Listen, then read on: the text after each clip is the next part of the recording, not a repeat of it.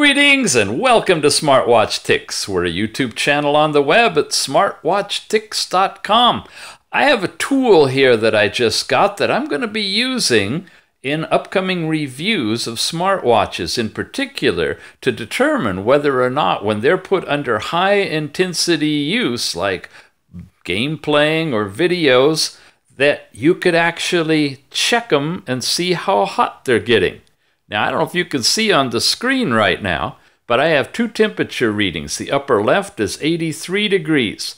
That's the edge of the band that I'm wearing. On the lower right, 107, 106, 107.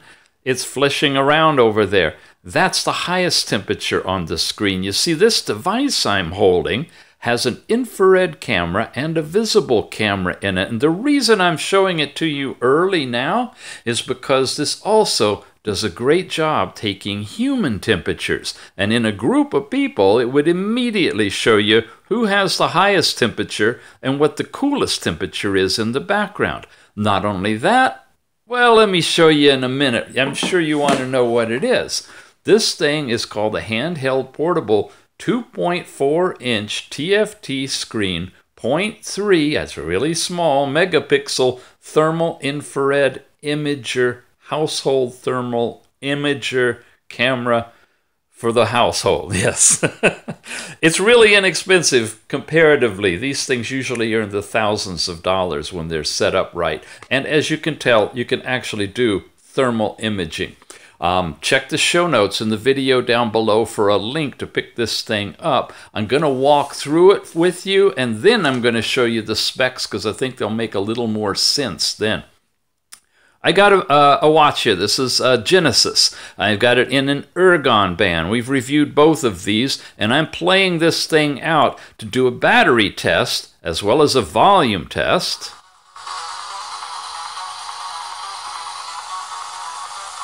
That's using a canned video, going to run it for an hour, and during that time, I've also going to be checking its temperature, and that's where this device comes in really, really handy. This is a small little screen.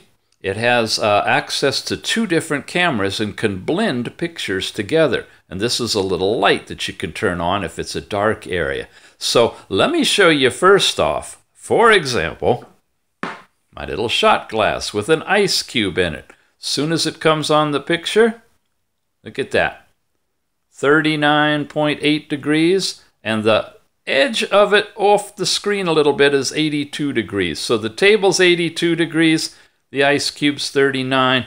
No matter where I move it, it's going to hone in on those different temperatures, high and low. Average temperature right here, minimum, maximum, and a whole bunch of other stuff, including time, and the fact that I have a micro SD card in here that allows me to take pictures, which is what I want to show you right now to explain how these other functions work. I got a bunch of pictures in here. Let's go and take a look at them. Here's a Starbucks cup.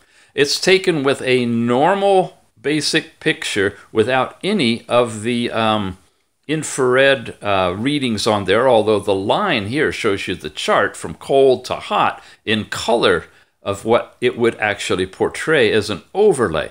You got the temperature of the cup and the side, and this is a picture, folks. It's already been shot. Now I go down, here's a close-up of it, okay?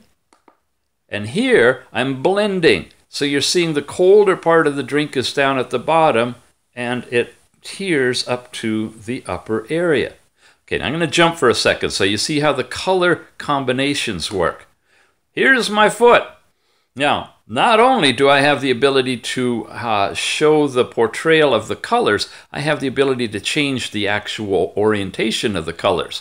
The hottest part of my foot is white in this one. So this particular setup lets me identify in a picture without even monitoring the temperatures, the overall gradient from coolest, which is the mat I was standing on, all the way to the hottest part of my foot. But I can change those colors. I can make red be the hottest, and it would look like this with green giving you a defined edge. It might be easier to see a person's temperature, the temperature of their body through their clothes, the contour of what's happening on a watch that's overheated, your Starbucks cup, whatever you're taking uh, an image of and capturing a picture. But I can change the chart again. Now here it's really predominantly white at the at the uh, hottest and blue at the coldest.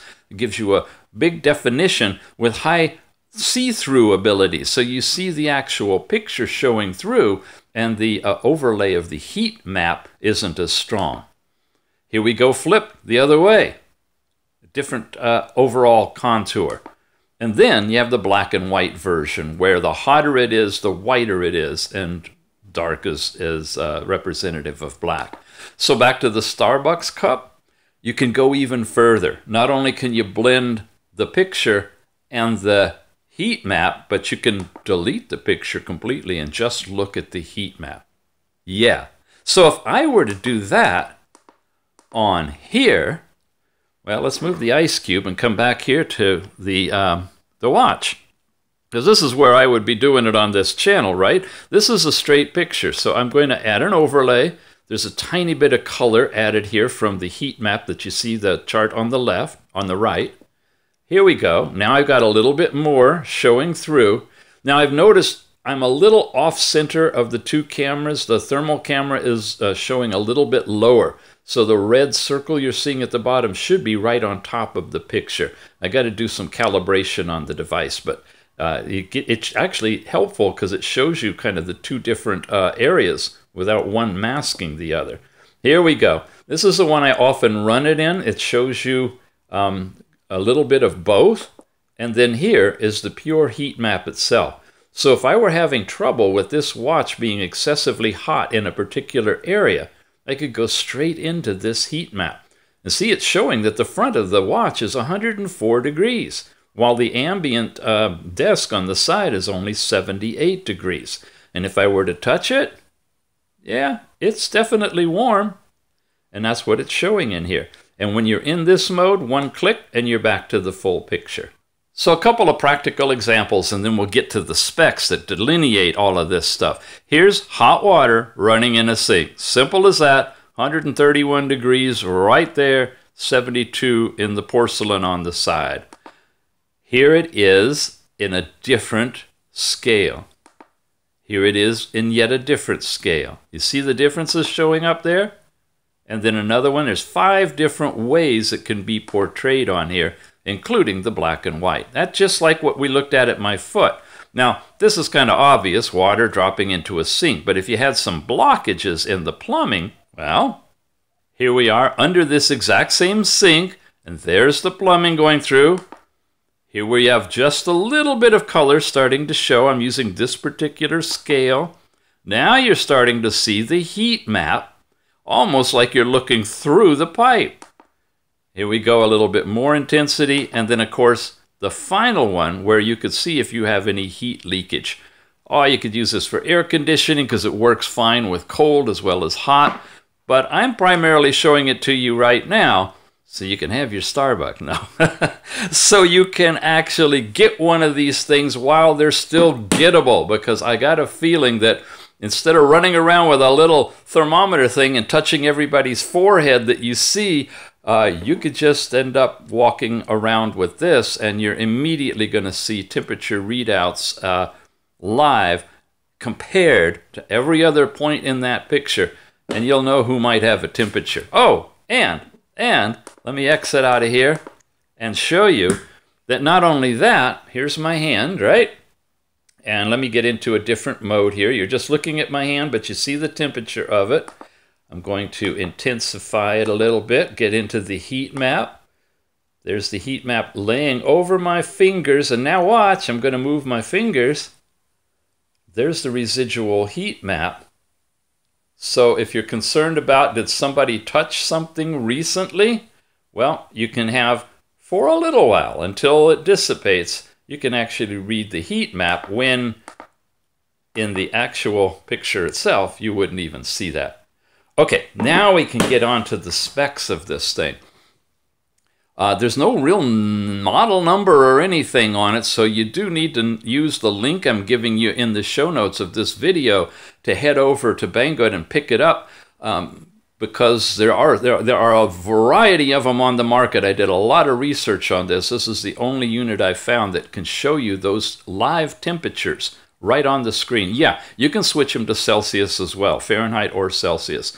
So you have all these different things, five different kinds of palettes for the colors. You have the hybrid imaging you have micro SD card capability, and you have a USB C or a micro USB port that you can connect directly to the computer, or you can pop the card out and, and, and plug it in your computer. You can transfer the images any way you want to, anywhere you want to. Uh, more of the specs. Um, four AA batteries runs the whole thing. Here are the accuracies. Again, this is consumer related. It's not going to be highly technical. So, what you're going to do is get basic guidance, information that may help you out in a pinch with this kind of thing. And believe me, if I were going in the airport or someplace, I think I'd like to have this around if I'm lingering, waiting for a flight, to just have a sense if any of the folks that are near me might be a little higher in temperature than I'd like to be close to. Okay, uh, it's a handheld portable TFT screen thermal infrared imager. That's the magic word you want to look for. Got the little built-in light here. I press that button, turns on a white light. So at night, if you're trying to do some imaging um, and you can't see it invisible, you can tap that on. But in the dark, it will definitely show the uh, heat signature. So you can see uh, animals walking in the bush if you want to. And again, look how accurate it is 37.5 degrees right in the ice, 79 degrees on the floor. And if I go into the thermal imaging of that, you'll see how now it's automatically adjusted where hot is normal on the outside. Whoa, until I come in the picture. You see how it, it adjusts the scale. So the cool part is the ice cube in the bottom. And again, if you go into just pure thermal imaging alone, you get a lot of information. Alrighty, you have been watching Smartwatch Ticks. We are a YouTube channel dedicated to smartwatch technology, and although this is not smartwatch per se, it is going to be an instrument, a tool that we're going to be able to use to check on smartwatches, especially under high levels of stress and uh, activity. You know, a lot of these are coming now with a special setting for gaming. So it's important to know are you, going to melt your wrist with this thing on? Well, you won't with this kind of a band, but uh, yeah, you want to be careful. The heart rate diodes in the back, all of that kind of stuff. What kind of information, what kind of heat is going on there? And can you detect that with this instrument to help you out? Look at that 104 degrees on the back of this watch running a YouTube video. Cool. All right, we'll see you again soon. Thanks for watching.